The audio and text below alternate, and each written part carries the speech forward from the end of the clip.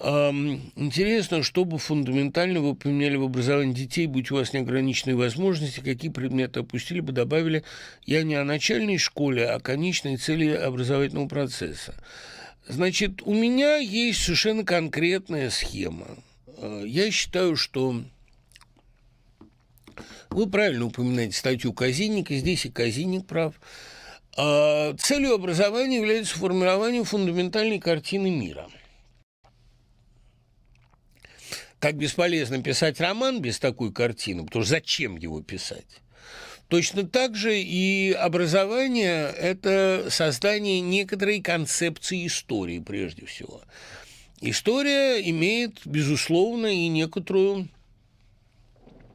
профетическую, так сказать, предсказательную функцию, и без этой функции ее тоже изучать бессмысленно. Если мы не можем предсказать будущее в целом, то мы можем предсказать определенные последствия. Ну, например, скажем, что революция всегда ведет к ухудшению жизни. И вообще э, смысл революции не в том, чтобы улучшать жизнь. Временно она всегда ухудшается. Революция – это последнее средство, потому что исчерпаны все другие средства как-то сдвинуть историю. А желать революции бессмысленно, потому что всегда все революции только упрощают социум и ужесточают его. Но они хоть что-то сдвигают, да, условно говоря.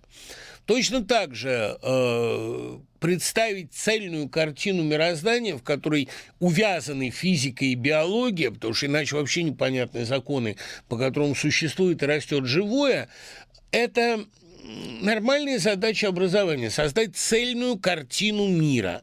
Поэтому я бы синхронизировал преподавание истории и литературы, чтобы литература каждой эпохи сочеталась с историческими ее особенностями. Я бы, безусловно, преподавал компаративистику, потому что сравнение разных культур и эпох, оно совершенно неизбежный процесс, оно позволяет увидеть общие черты в антропологии, в развитии человека вообще. Антропология обязательно должна преподаваться, а то у некоторых отечественных идиотов до сих пор антропология антропология ассоциируется с измерением черепов. Но это потому, что они сами фашисты и ни о чем, кроме фашизма, думать не могут.